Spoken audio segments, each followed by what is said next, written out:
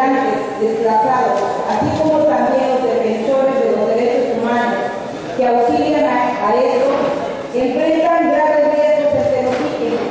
Esta es una problemática que trasciende las esferas de la migración,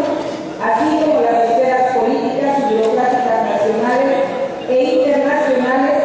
y que tiene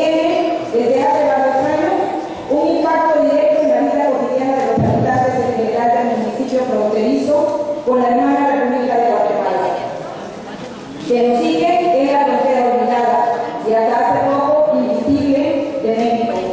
Así lo establece un informe presentado en octubre de 2011 por la misión de observación civil que nos sigue en la frontera cruzar los límites integrada por la Red Nacional de Organismos Civiles de Derechos Humanos, todos los derechos para todas y todos, conformada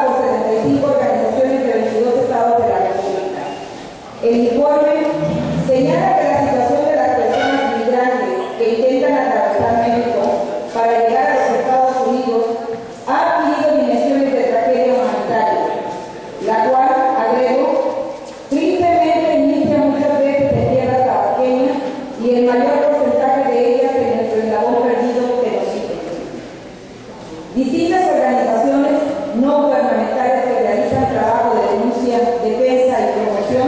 de los derechos humanos de las personas migrantes han sido víctimas sistemáticas de amenazas, agresiones e intimidaciones por parte de autoridades y grupos delincuenciales. Por lo anteriormente expuesto, considero que es apremiante la presencia permanente en el municipio de Tenosique de una oficina de la Comisión Estatal de Derechos Humanos a fin de atender de manera las denuncias que en materia se presentan. Existe ya un diagnóstico claro de la, problemática, por lo que procedemos a tomar cartas en el asunto lo más pronto posible, motivo de esta intervención hoy. Además, estarían